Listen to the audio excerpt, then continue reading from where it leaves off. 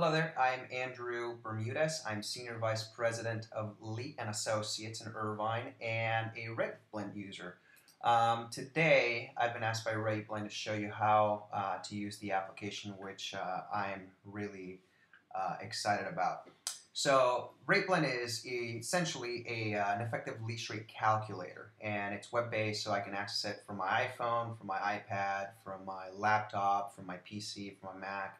Um, and what I like about it is you can do monthly rent or you can do uh, rent per square foot. Since we are very rent per square foot centric in my office, we're going to do rent per square foot uh, per month. And on the property address, I'm going to put one venture. We're going to do suite 220 in the city of Irvine, California. And it's going to be prepared for, it's going to be prepared for a company that doesn't exist, so I'll just do ABC Technologies. And property size, it means what the square footage is. So let's say it's about 2,000 square feet. And the rent type, I'm going to type in full service gross. Now, the rent periods, that's where it gets really interesting.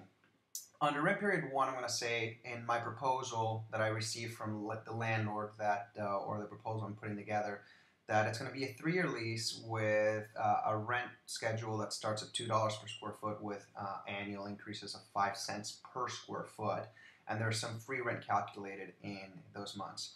So this particular deal is going to be a three-year lease with $2 square foot rents, nickel bumps, and I'm getting actually four months of free rent. So it'll help me to quickly calculate what the effective rent my client's going to be paying is going to be. So we'll put 12 months, we'll put $2 a square foot, and I'll put two months of rent. So here's my effective uh, monthly rent per square foot per month right there. If I want to know what the monthly rent is, I just click over and it tells me that.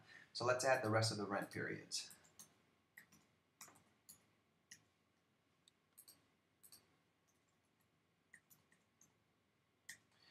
So that's it. There we go. Now, if I'm getting any tenant improvement allowances or any movement allowances, etc., I can add those as well, and it will compute that separate uh, that separate dollar amount. So let's say, for example, I got uh, five dollars a square foot and tenant improvement allowance. So I put TI allowance, and I'll put the dollar amount is going to be 5000 Quantity is going to be 1. They're only giving me $5,000 once.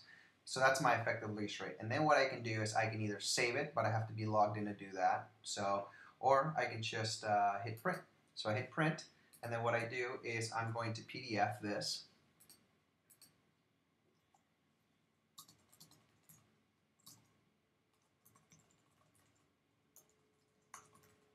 And I'm done. I attach that to my proposal, send it to my client, and I go pop on the phone with them and I go over what they're exactly paying. And they're getting a great deal. On a Class A building, they're getting a dollar seventy-five a square foot with four months of free rent on a um, on a three-year lease. I hope that helps out, and I hope you guys enjoy the application as much as I am.